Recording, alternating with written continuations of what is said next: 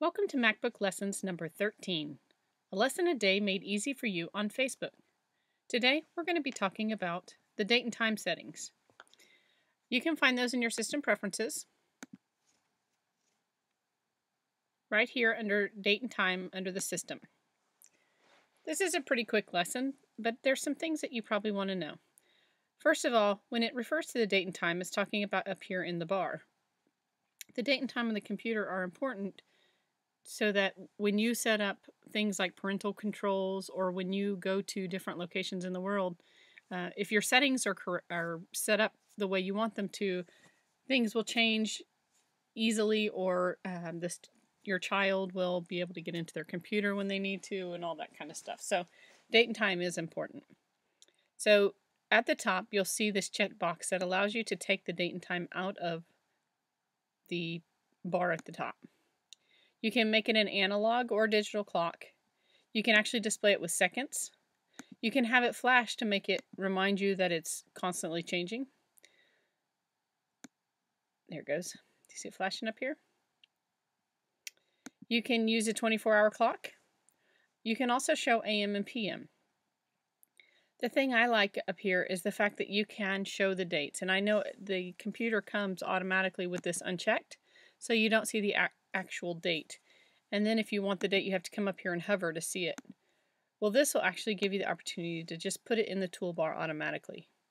You can also show the day of the week or not show it. One of the things that you can do is have it announce the time on the hour, on the half hour, on the quarter hour. Under Customize Voice, there's actually an, a whole array of voices. And you'll see right now I have Jill downloading. That's because under Customize, you can come in here and you can actually download different voices. Some of them are already given to you, the six that you have, and then you can download additional ones that you want to add to your list.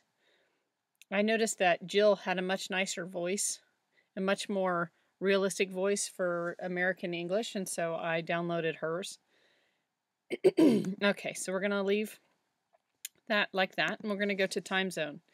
In here, you can have it set the time zone automatically with your your search function. So if you uh, have the iCloud turned on and it searches for your device when it's lost, you can also turn this on and have it search for your device where it is eh, so it'll automatically set the time zone. This is really nice so when you're traveling to another part of the United States or you're traveling to another country, you can actually have it readjust itself on its own. The other thing is to, down here, you can do it to the closest city. So these are just some city options that I have near me. And then the first one is date and time. And this one actually says that um, the set, set date and time automatically to the Americas.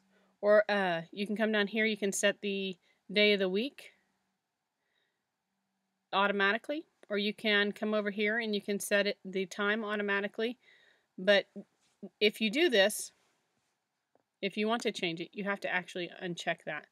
And then you can change it to any day you want. However, if I have this checked, it's going to automatically do what's what time and day it is right now. So once you're done, you can actually lock your preferences and it won't change any of them. If someone gets in here, they'll have to know the password to change it. And then that's basically it for date and time settings. I'm going to go ahead and close, and I just want to say thank you for joining me today, and I look forward to teaching you again tomorrow.